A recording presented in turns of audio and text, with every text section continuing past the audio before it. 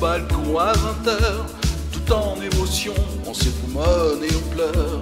Mais faut vous rappeler qu'il n'y a pas si longtemps, elles étaient dans la rue à dénoncer leur souffrance.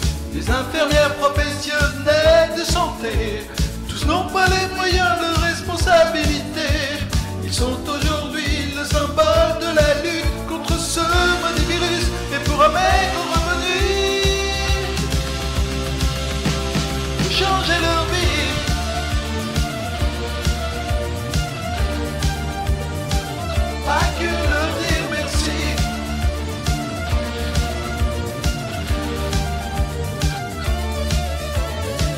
je comprends bien ce besoin d'appartenance, on est dans la souffrance et l'on s'angoisse l'existence.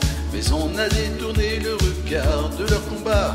Maintenant que tout va mal, on les salue pour leur courage. Les infirmières professionnels de santé, tous n'ont pas les moyens de responsabilité. Ils sont